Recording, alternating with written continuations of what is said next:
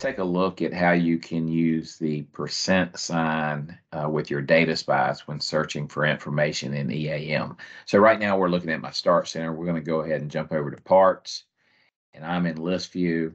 Um, in the description column in the advanced search box, uh, for example, let's say I'm looking for two words contained in the description, such as valve and assembly. So I'm going to type in valve and then use the percent sign and type in the word assembly and run my Dataspy. And I get five records that returned. Uh, we can also do this in split view.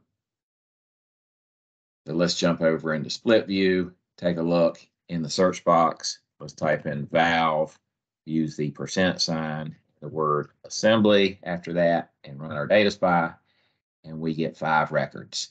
Um, you can do this throughout EAM when, when searching for information. I'll, I'll go do another example in our assets. So again, I'm in list view in the description column.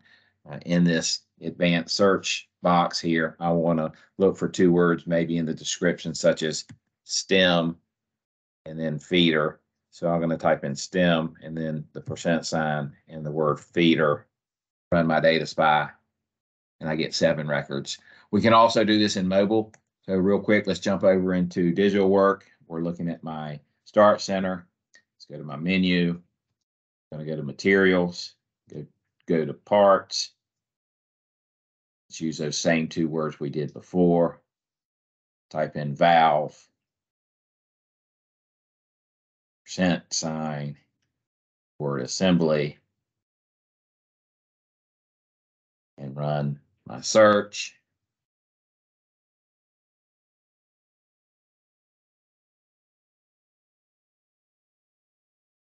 And we get five records back. So this is extremely helpful if your technicians have an extensive part list and they want to narrow things down, searching for multiple words. Uh, they can use the percent sign uh, in their Dataspy to uh, hopefully locate the part that they're looking for.